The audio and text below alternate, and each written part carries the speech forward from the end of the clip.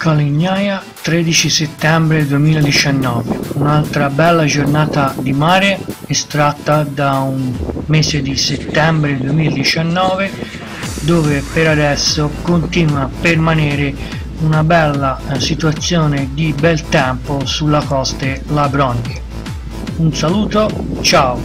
Postscriptum. Oh l'acqua era parecchio ghiaccina eh? ci voleva la tuta. Ciao.